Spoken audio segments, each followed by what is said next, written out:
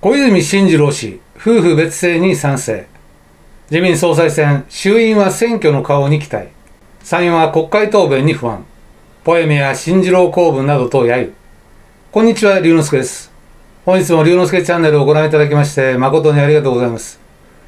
自民党総裁選でのメディアの誘導には腹渡が煮えくり返っていますが、え、何のこととお思いの方も多いでしょう。例えば小林孝之氏をコバホークとして祭り上げたり誰の目にも見てわかるのですが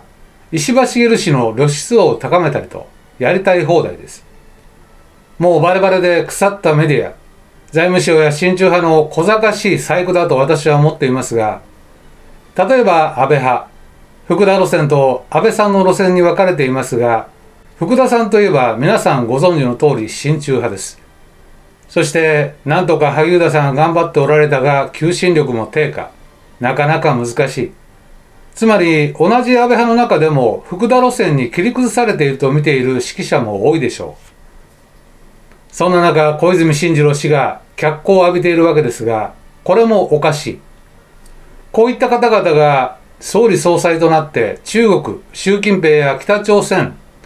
韓国ロシアはたまた米国大統領と渡り合えるのか。小泉進次郎氏などは習近平氏と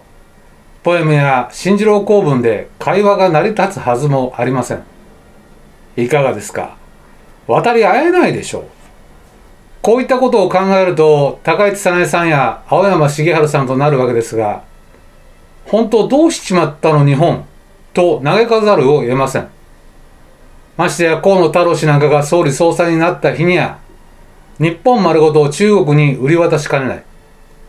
前置きはこのぐらいにしまして、小泉進次郎氏、夫婦別姓に賛成。自民党総裁選に出馬する小泉進次郎元環境省は2日、選択的夫婦別姓制度の導入に賛成の立場を表明した。今までも賛成だと述べている。6日の出馬会見の際にしっかりと話したいと述べた。総裁選に出馬を表明した議員では石破茂元幹事長と河野太郎デジタル省が夫婦別姓制度に前向きで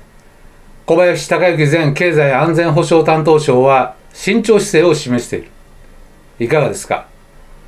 小林孝之氏は慎重。現時点ではっきりと反対としないものなんかは信用できません。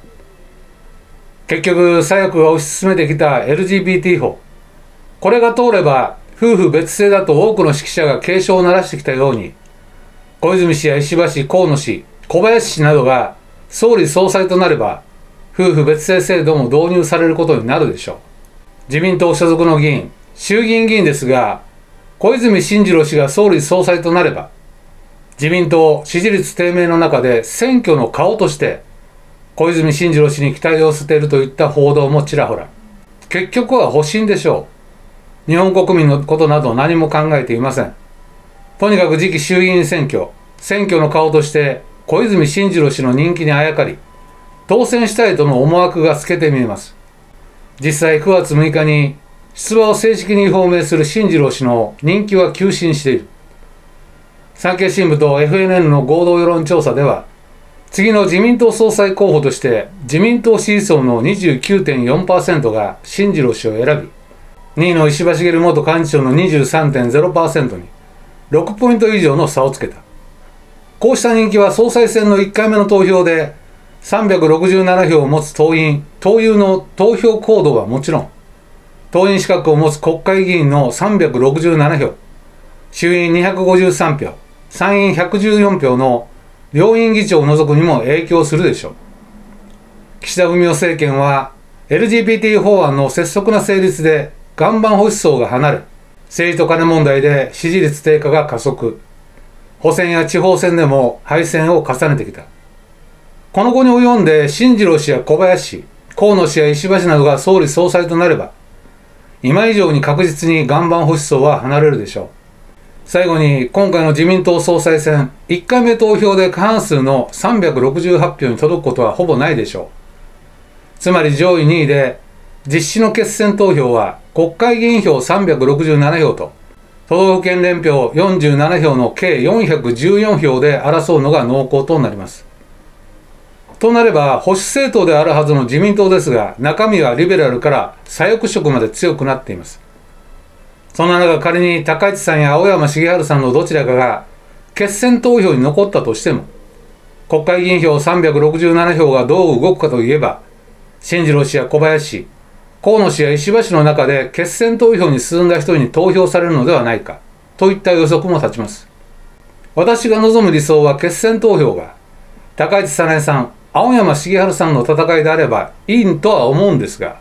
難しいでしょう。さて今回の動画ご視聴いただきました皆さんはいかが思われましたでしょうか？